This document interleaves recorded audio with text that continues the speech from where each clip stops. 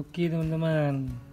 Inilah material yang kita gunakan Mau membuat kerajinan tangan uh, Dari bahan benang ya Merajut benang Untuk menjadi bingkisan teman-teman.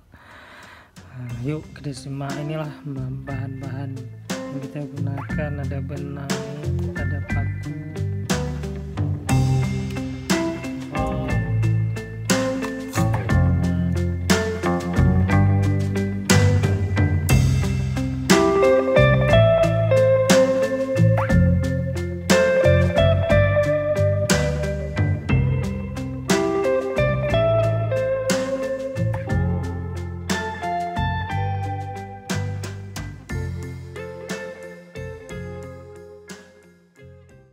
jadi benang rencana benang ini kita buat langsung ya teman-teman. Kita buat yang sini dulu